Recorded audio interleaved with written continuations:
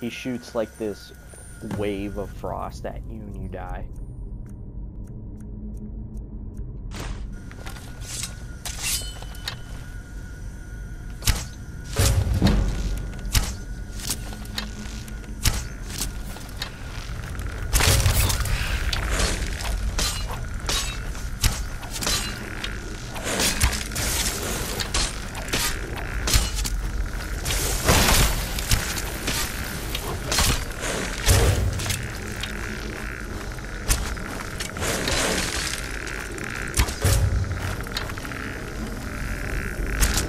Oh my god, I killed him.